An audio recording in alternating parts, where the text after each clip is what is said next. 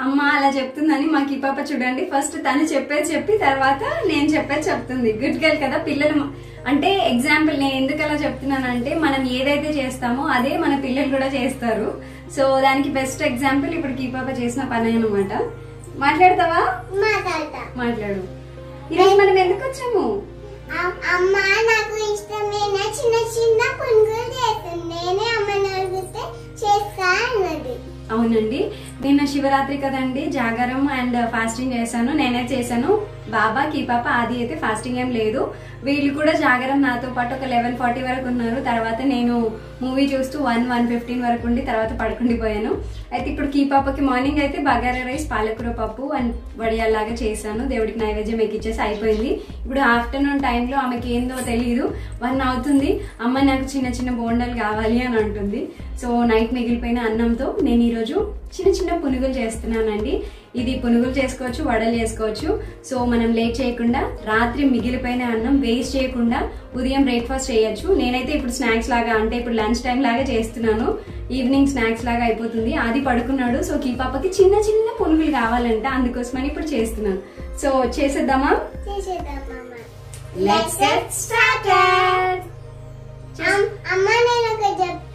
అవునా? ఏం చెప్తారా? వాళ్ళు మనం చూసి వాళ్ళు మనల్ని సర్ప్రైజ్ చేసే. అవునా? చెప్పు మరి. కిబాబ్ ఏదో చెప్తుందంటండి. చెప్తానిద్దాం చెప్పు. మీరు ఎవరైనా మా ఛానల్ని చూస్తే తప్పకుండా సబ్స్క్రైబ్ చేయండి. My kiss my world good girl అంటే నేను ఎప్పుడు చెప్తా కదండి చిన్న రిక్వెస్ట్ మీరు ఎవరైనా నా ఛానల్ని ఫస్ట్ టైం చూస్తే తప్పకుండా సబ్స్క్రైబ్ చేసుకోండి అని. ఇప్పుడు నేను చెప్పట్లేదు అని మాకు ఈ పాప గుర్తు చేసి మరి తనే చెప్తుందండి. సో తప్పకుండా మీరు మమ్మల్ని సబ్స్క్రైబ్ చేసుకోండి అండ్ సపోర్ట్ చేయండి. చెప్పాను ఈ పాప ఓకేనా? ఇప్పుడు స్టార్ట్ చేసామా స్టార్ట్ చేద్దాం. ఇప్పుడు ఒక మిక్సింగ్ బౌల్ తీసుకొని అందులోకి వన్ కప్ ఉప్మా రవ్వ సూజీ అంటారు కదండి అది తీసుకున్నాను. అందులోకి పావు కప్పు బియ్య పిండిని యాడ్ చేస్తున్నానండి. బియ్య పిండి వల్ల క్రిస్పీనెస్ యాడ్ అవుతుంది. అలాగే హాఫ్ కప్ పెరుగుని యాడ్ చేస్తున్నాను. ఇక్కడ పుల్లెట్ పెరుగైనా నార్మల్ పెరుగైనా యూజ్ చేయొచ్చు. నేనైతే ఇక్కడ పుల్లెట్ పెరుగు యూస్ చేస్తున్నాను. సో పెరుగు బౌల్లోకి కొన్ని వాటర్ని యాడ్ చేసేసి అది మొత్తం ఇలా గిన్నెకున్నదంతా తీసేసి అందులో వేసేసుకొని నీట్గా కలిపేసుకోవాలండి.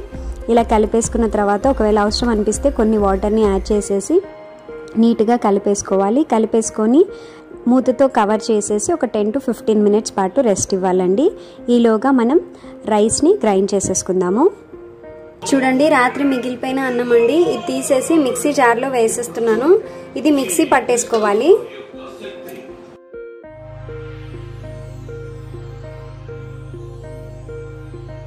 ఇప్పుడు ఇందులోకి ఒక చిన్న టీ గ్లాస్ అన్ని వాటర్ని యాడ్ చేసేసి మిక్సీ లిడ్ అనేది క్లోజ్ చేసేసి మెత్తగా ఫైన్ పేస్ట్ లాగా ప్రిపేర్ చేసేసుకోవాలండి.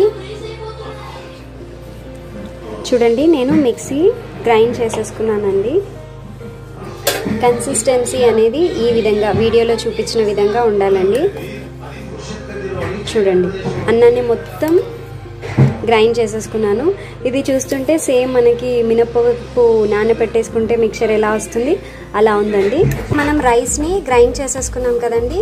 దీన్ని ఇప్పుడు మనం పది నిమిషాల పాటు నానబెట్టేసుకున్న ఈ మిక్చర్లోకి యాడ్ చేసేసుకోవాలి.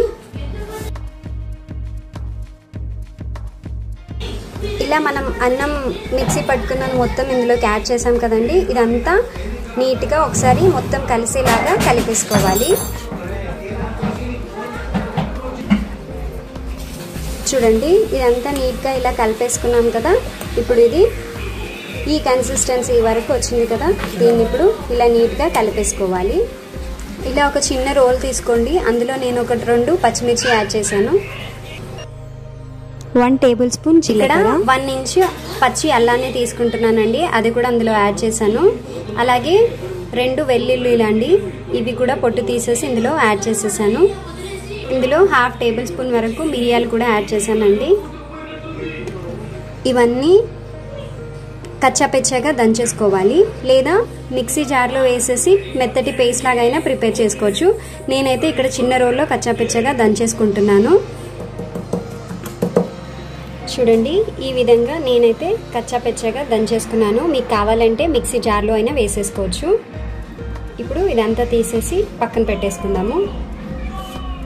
ఈ పిండి అనేది ఇలా కలిపేసుకున్నాం కదా ఇందులోకి ఇప్పుడు మనం ముందుగానే కచ్చపిచ్చ దంచేసుకున్న ఈ పచ్చిమిర్చిని ఇందులోకి యాడ్ చేసేద్దాము. ఇక్కడ రుచికి సరిపోయినంత ఉప్పు యాడ్ చేస్తున్నానండి. నేనైతే ఇక్కడ one and half spoon add చేశాను. సన్నగా తురిమిన పుదీనా సన్నగా తురిమిన కరివేపాకు సన్నగా తురిమిన కొత్తిమీర యాడ్ చేసేసి ఒకసారి ఇవన్నీ కలిసేలాగా నీట్గా కలిపేసుకుందాము. చూడండి మన బ్యాటర్ అయితే రెడీ అయిపోయిందండి. దీన్ని మరీ లూజ్గా ఉంచొద్దు అలానే మరీ టైట్గా ఉంచొద్దు. ఇలా వీడియోలో చూపించిన విధంగా ఉంటే సరిపోతుందండి. ఇప్పుడు మనం వీటిని వడల్లాగైనా వేసుకోవచ్చు లేదా పునుగుల్లాగైనా వేసుకోవచ్చు. నేను అవి రెండు ఎలా చేయాలి అనేది చూపిస్తానండి. ముందుగానే నేను స్టవ్ ఆన్ చేసి ఒక బాండీలోకి డీప్ ఫ్రైకి సరిపడా ఆయిల్ని యాడ్ చేసేసి స్టవ్ పైన పెట్టుకున్నానండి. ఆయిల్ అనేది హీట్ అయిన తర్వాత నేను కొంచెం పిండిని అనేది అందులోకి డ్రాప్ చేస్తున్నానండి. ఎందుకంటే మన ఆయిల్ హీట్ అయిందా లేదా చెక్ చేసుకుంటున్నాను. చూడండి వెంటనే పైకి తేలిందనమాట. ఆయిల్ అనేది మనకి చక్కగా హీట్ అయింది. ఇప్పుడు ఇది తీసి పక్కన పెట్టేసుకొని ఫస్ట్ ఒక ప్లేట్లోకి కొన్ని వాటర్ని తీసుకొని చైన్ ఇలా తడిపేసుకోవాలి. ఇలా తడిపేసుకున్నాం కదా చైని అందులోకి మనం ముందుగానే ప్రిపేర్ చేసిన బ్యాటర్లోని తీసేసుకొని కొంచెం కొంచెంగా తీస్తూ అలా ఆయిల్లోకి వేసేసుకోవాలండి.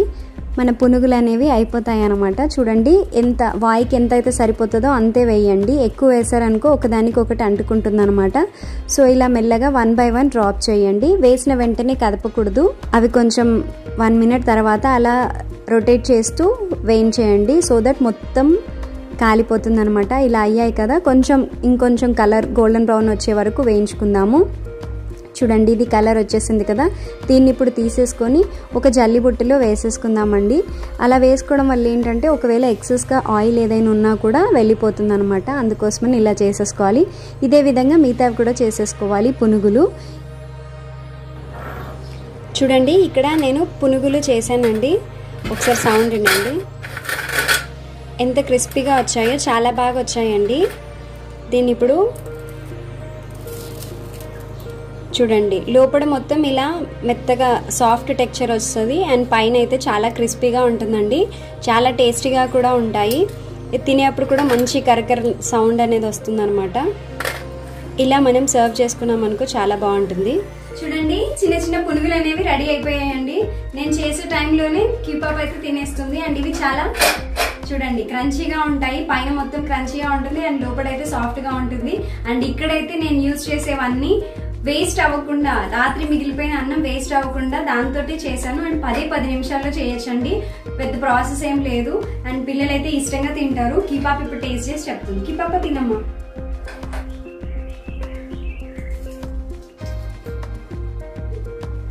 సో ఇలా అండి నేను మీకు చూపిస్తాను. ఇది కూడా చూడండి చాలా క్రిస్పీగా ఉంటుంది. పైన అండ్ లోపల వచ్చేసి సాఫ్ట్గా ఉంటుంది. టెక్స్చర్ అనేది చాలా బాగుంటుంది. మీరు కూడా మీ ఇంట్లో తప్పకుండా ట్రై చేయండి. అండ్ మీకు మా వీడియోస్ నచ్చితే తప్పకుండా లైక్ చేయండి. అండ్ మీ ఫ్రెండ్స్ అండ్ ఫ్యామిలీ మెంబర్స్తో షేర్ చేయండి. సో దట్ తెలియని వాళ్ళు తెలుసుకుంటారు.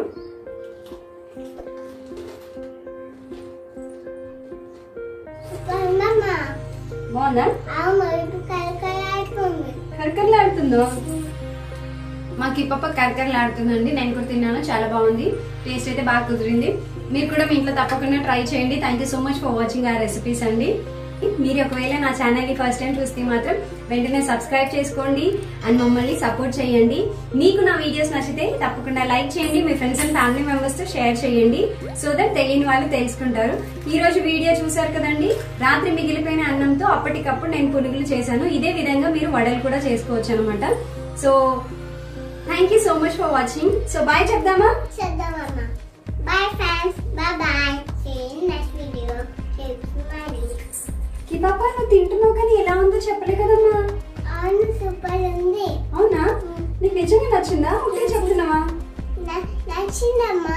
అవునా? మరి వాళ్ళని ట్రై చేసుకోమని చెప్పమారా? చెప్తా. చెప్పు. మీ ఇంట్లో కూడా అలానే ట్రై చేయండి. సూపర్ ఉంటుంది. నాకైతే అమ్మ చేసిన పునుగులు నచ్చినాయి అవునండి పైన అయితే మనకి కరకరలాడుతూ టెక్స్చర్ అనేది క్రిస్పీగా ఉంటుంది అండ్ లోపలైతే చాలా సాఫ్ట్గా ఉంటుంది బాగుంటుంది. మీరు కూడా మీ ఇంట్లో తప్పకుండా ట్రై చేయండి. కంపల్సరీ మీకు నచ్చుతుందండి. Thank you so much for watching అండి. See you in next video bye.